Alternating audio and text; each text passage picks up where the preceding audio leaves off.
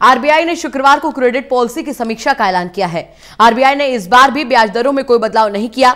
RBI ने repo rate चार प्रतिशत पर बरकरार रखा तो वित्त वर्ष 2022 में दस दशमलव पाँच फ़ीसदी जीडीपी ग्रोथ का अनुमान जताया है।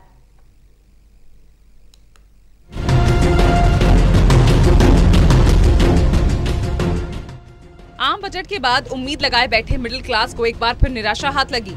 भारतीय रिज़र्व बैंक ने शुक्रवार को क्रेडिट पॉलिसी की समीक्षा का ऐलान किया और आरबीआई ने इस बार भी ब्याज दरों में कोई बदलाव नहीं किया है।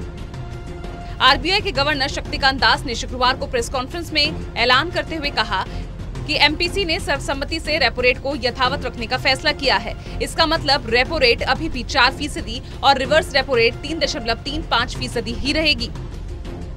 आपको बता दें कि रेपो रेट वो दर है जिस पर आरबीआई बैंकों को लोन देता है। आपको बता दें कि वित्त वर्ष 2021-22 का बजट पेश होने के बाद ये आरबीआई की पहली पॉलिसी है। छह सदस्यों वाली एमपीसी की बैठक बुधवार तीन फरवरी से शुरू हुई थी। सेंट्रल बैंक ने पिछले साल फरवरी से अब तक रेपो रेट में एक दशमलव एक पाँच फ़ीसदी की कटौती की है। रिवर्स रेपो रेट को भी तीन दशमलव तीन पाँच फ़ीसदी आरोप ही रखा गया है। साथ ही एमएसएफ और बैंक रेट में भी कोई बदलाव नहीं किया गया है। और ये पहले की ही तरह चार दशमलव दो पाँच फ़ीसदी रहेगा।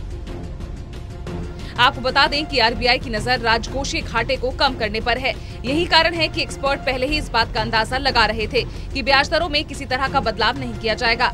साथ ही ब्याज दरों को पहले ही काफ़ी कम किया जा चुका है। ऐसे में इस बार भी उम्मीद कम थी।